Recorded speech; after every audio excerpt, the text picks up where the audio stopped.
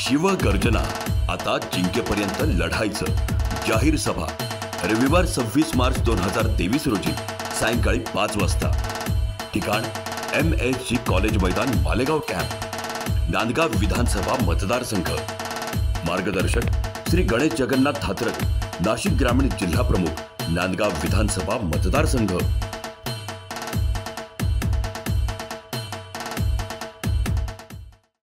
उद्धव ठाकरे यांच्या होणाऱ्या सभेच्या पूर्वनियोजनासाठी संजय राऊत मालेगाव येथे आले असता पत्रकारांशी बोलत होते. ज्यांना दोन वर्षापेक्षा जास्त शिक्षा झाली अशा लोकांच्या आमदारकी आणि खासदारकी शाबूत असून राहुल गांधींचे सदस्यत्व रद्द करून तुम्ही लोकशाहीला मूठमाती देण्याचे काम केले. असे स्पष्ट मत शिवसेना नेते खासदार संजय राऊत यांनी मालेगाव येथे पत्रकार परिषदेत दिले. यावेळी त्यांनी अनेक प्रश्नांची उत्तरे देखील दिली.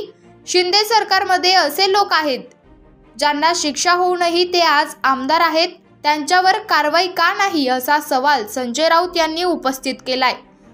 चोर आणि लफंगी आणि फ्रॉड लोक आहेत. ज्या घाईघाईनं त्यांनी लोकसभेतलं शिवसेनेचं संसदीय कार्यालय मिंदे गटाच्या हातात दिलं.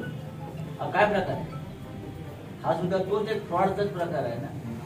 ज्या निवडणूक आयोगाच्या निकालाविरुद्ध आम्ही सर्वोच्च न्यायालयामध्ये याचिका केली.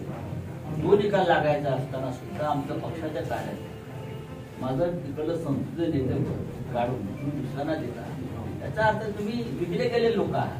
तुमच्याविषयी काय बोलणार? तुम्ही काय लोकशाहीचं लक्षात जागर जनस्थानसाठी अमीन शेख मालेगाव.